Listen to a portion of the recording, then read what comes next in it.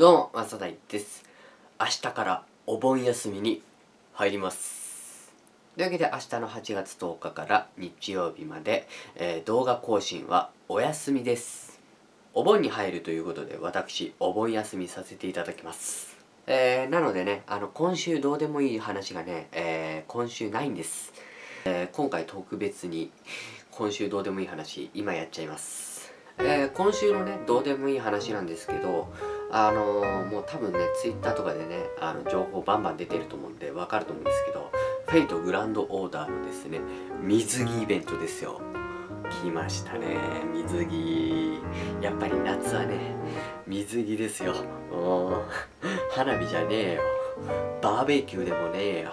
水着だ！ということでね、えーついにフェイトグランドオーダーでも水着のイベントしかもですね今回スカサハ師匠のアサシンバージョンがですねある条件をクリアすると、えー正式加入ということでね、えーゲットできるということでいいですよ。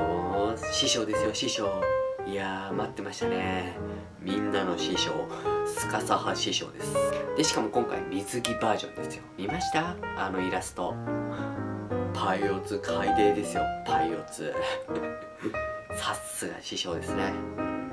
師匠クラスは半端ないそれとねあの期間限定だと思うんですけどえピックアップ召喚でねあの水着のサーバントたちが出てくるということで。で第1弾と第2弾に分かれてるのかな？うん。で多分ね第2弾の方にね青セイバーの水着バージョンが出てくるらしいのでえー、画面の時にねあの回そうかなって言ってたんですけどまあ予想が外れたっぽくてですね。まあ水着が先に出るということで、えー次のねピックアップ召喚はね水着です。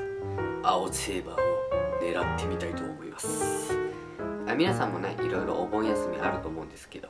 まあそれなりに楽しんでください。私もそれなりに楽しみます。それじゃあまた会いましょう。バイバイ。